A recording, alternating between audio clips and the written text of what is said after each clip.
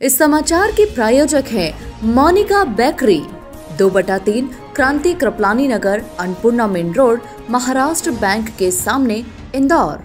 इस न्यूज़ के प्रायोजक हैं दास बेकर्स, स्थान Shiv Shakti villa, plot number सत्यासी, scheme number 103 दुकान नंबर दो, केशरबाग ब्रिज के पास इंदौर।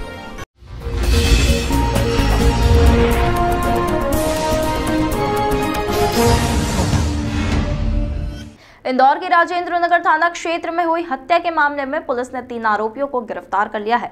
उन्हें घटना स्थल ले जाकर घटना का एक रिक्रिएशन भी कराया गया। गौरतलब है कि पिछले दिनों राजेंद्र नगर थाना क्षेत्र में स्थित एक एक कुएँ से लाश मिली थी, जिसका पोस्टमार्टम भी कराया गया था, जिसमें हत्या की बात सामने आई थी।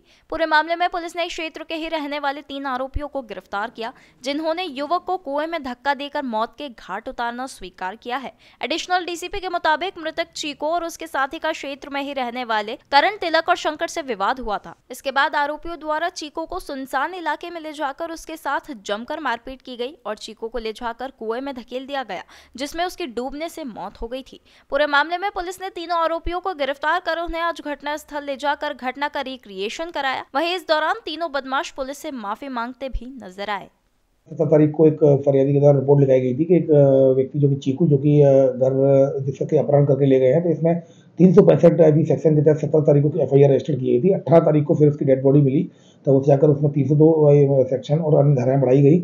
उसमें ये मामला सामने आया कि तेजपुर गड़बड़ी के रहने वाले सभी लोग जो आरोपी और फरियादी तेजपुर गड़बड़ी के रहने वाले हैं किसी बात पर मुवाद हुआ था जिस बात को लेकर के जो जो आरोपी शंकर है अपने एक अन्य दोस्त के साथ दो, दो दोस्तों के साथ गया और ऑटो से एक इसको जो आरोप जो जो मृतक है चीकू उसको पकड़ कर ले गया और जंगल की तरफ़ ले गया, फिर उसके बाद वहाँ पर मारपीट की, उसके साथ और कुएँ में उसको धक्का दे दिया, जिससे उसकी मृत्यु हो गई। इस आधार पर थाना थाने में case I P section three zero two और अन्य धाराओं के तहत केस रजिस्टर किया गया। इसके बाद ये तीन आरोपियों को इसमें पकड़ लिया गया है और उनके खिलाफ गिरफ़्तार किया जाकर माननीय न्यायालय के समक्ष प्रस्तुत किया जा रहा है।